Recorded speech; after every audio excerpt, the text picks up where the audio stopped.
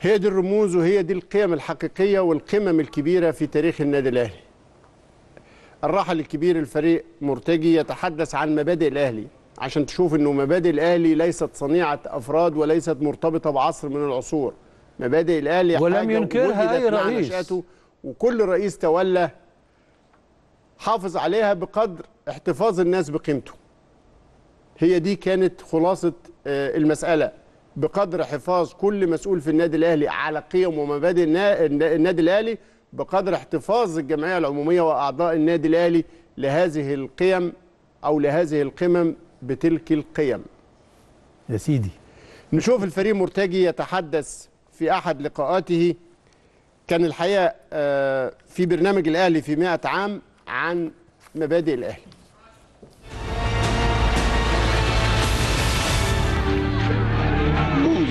نشأة النادي الأهلي سنة 1907 مين اللي تولى النادي الأهلي؟ كلهم عظماء البلد. هم دول اللي وضعوا وضعوا الأساس وضعوا ال- التقاليد وضعوا ال- المبادئ اللي النادي الأهلي ماشي فيها. وأي واحد بيمسك النادي الأهلي لازم يمشي على هذه المبادئ. ما فيش حد عمل مبادئ جديدة. دي مبادئ كلها موروثة. شوف الفريق مرتجي يتحدث عن المبادئ وقال المبادئ محطوطة منذ نشأته. محدش عمل حاجات جديدة لأن دي خلاص الدستور بتاعنا اللي كلنا بنحافظ عليه ما معناه يعني. وإحنا محافظين عليه. ولاد النادي يفهموا يعني إيه كلمة مبادئ. فدي لما كانت قضيتنا ما كناش بنتكلم من باب اللغو اللي هي القضية اللي بيحاول دلوقتي كل خصوم الأهلي إنه يعتدوا عليها ويلغوها. آه خوفنا كان على النقطة دي. والحمد لله إن نعتبر إن في كده وعكة. وبعدين استردينا تاني من يحافظ على هذه الموروثات التي تميز النادي الأهلي فقط. طيب الفريق مرتجي أيضا في آه، فيديو تاريخي قديم ليه الحقيقة مهم جدا مع الإعلامية الكبيرة نجوى إبراهيم في التلفزيون المصري سنة 71 نفتكر مع حضراتكم. فعايزين نتكلم عن ال- الألعاب الرجولة في الملعب.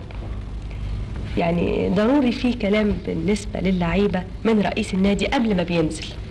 يعني بت بتوصيه تقول له خلي بالك على الكورة. يعني ما يعني يمكن أنا سمعت مرة بيقولوا لهم ما تخافش على رجلك خاف على الشبكة يعني خاف على آه، الفريق بتاعك. آه، فمدى الرجولة في الملعب؟ هل ممكن توصل للخشونة؟ لا. طالما إن هو بيلعب على الكورة ما بتوصلش للخشونة. دي و... وأنا في متهيألي إن كل لاعب بيوصل للخشونة هو راجل مش مش في الفورمة مش واثق. نفسه يبتدي يضرب ويبتدي يعمل يبقى مش واثق من نفسه. إنما هو لازم يشترك في كل لاعب. بس يبقى نلاحظ إن هو بيشترك على الكورة مش على رجل زميله أو على بطن زميله أو على على حاجة. إنما إحنا بنقول دايما لعيبة خليكم رجالة وأبطال والنتيجة دي ما تهمش إنما إن هو يضرب لا. أنا ما أحبش ابدا حد يضرب في من اللعيبة بتوعه. طب رأيك إيه في كابتن مروان لما بيضرب لعيب مثلا؟ أو يتنرفز له. عليه. بزعق له بعد ال- المباراة. مش بيبقى في بعض الأحيان معاه حق ولا عمره ما بيبقى معاه حق؟ ما هو هنا نفترض إن هو ضرب وبعدين الحكم خرجه. أنا استفدت إيه؟ أو النادي بتاعه استفاد إيه؟ ما هو عطل. النادي عطل. فاحنا بنقول إن كل واحد يلعب ويعمل يعني يسيطر على أعصابه لغاية ما يخلص ال- المباراة. طب آه هو يمكن ندخل كمان من الناحيه الشخصيه شوية بالنسبة لضيوفنا الكبار. آه عاوزين نعرف آه الأولاد مثلا. أولاد سيادة الفريق بي- بيلعبوا كورة مدى تشجيعهم مراد حضرتك يعني تكلمنا شوية كده. أنا عندي ال- الولد الصغير ده طبعا بيلعب في في في الصغيرين بتوع المدرسة بتوع النادي الأهلي. أيوة. ويمكن هو زميل لحكم ابنك أيوه. ده أهلاوي شنيع. يعني هو امبارح بعد ما ما اتغلبنا لا روح لا كل ولا شرب ونام ومش عاوز يروح المدرسة وعاوز يقعد في البيت. علشان اتغلبنا ال- الغلب اللي دخل فيه سوء الحظ.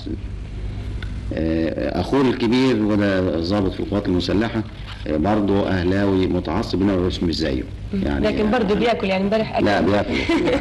هو بقى اللي, اللي, اللي, اللي بطالة جدا هي ست والدته. لأن دي ماتش أو بس دي ما مباراة. بتروحش يعني المدام ما بتروحش خالص ما. تقدرش تشوف النادي الأهلي بيلعب. اطلاقا. يجي لها على طول آه، عصبي وقيء ممكن. يوم النادي الأهلي ما يلعب لازم تاخد أربع خمس حبات منومه عشان تنام مدة المباراة آه. طب قد إيه يعني تبقى. حلوة لما تصحى تلاقي ال- الأهلي غلب لما يكون الأهلي غلب لكن امبارح ما كانتش الحكاية حلوة ابدا